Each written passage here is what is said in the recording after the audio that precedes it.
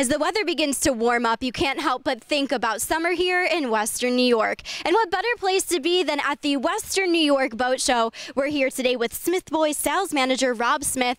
Rob, the boat show kicked off on Wednesday and it's heading into tomorrow. It's been very busy. There's been a ton of people here coming to grab up some of the best deals of the year on new boats. Some people are taking lists for looking at used boats it's been an amazing show so far. Yeah, it's ongoing and there's still so much more to see. Rob, how long has Smith Boys been a part of this? We've been a Sea Ray dealer since 1969 and been selling boats since before that.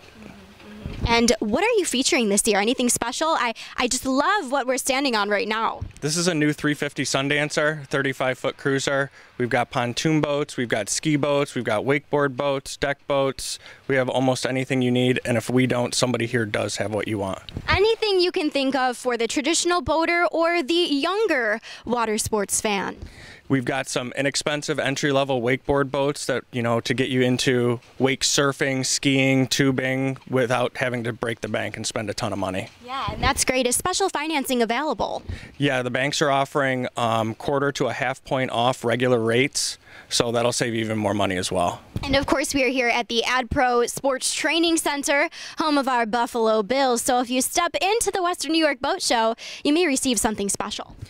Everybody who comes in to the boat show is registered to win season tickets to the Bills this year. All right, all right. That's very exciting to think about. So there is so much to offer here. And really, summer is just around the corner, so there's a lot to look forward to as well.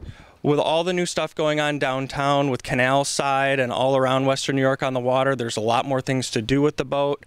And it's not just boats here. We have over 50 vendors selling supplies, accessories, all the stuff you need to outfit your new boat. From Canal Side to the lower Niagara River, the boat scene has really grown throughout the area.